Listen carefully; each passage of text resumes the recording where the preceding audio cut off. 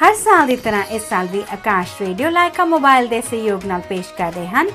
ਵਿਸਾਖੀ ਮੇਲਾ 2016 ਲੰਪਟਨ ਪਾਰਕ ਹੰਸਲੋ ਵਿੱਚ 24 ਅਪ੍ਰੈਲ ਦਿਨ ਐਤਵਾਰ ਨੂੰ 12 ਵਜੇ ਤੋਂ ਸ਼ਾਮ 7 ਵਜੇ ਤੱਕ, ਜਿੱਥੇ ਆਪ ਸਭ ਦਾ ਮਨੋਰੰਜਨ ਕਰਨ ਆ ਰਹੇ ਹਨ। ਮਸ਼ਹੂਰ ਗਾਇਕ ਨਛੱਤਰ ਗਿੱਲ, ਪ੍ਰਿੰਸ ਸੁਖਦੇਵ, ਹਰਭਜਨ ਤਲਵਾਰ ਤੇ ਹੋਰ ਬਹੁਤ ਸਾਰੇ ਕਲਾਕਾਰ।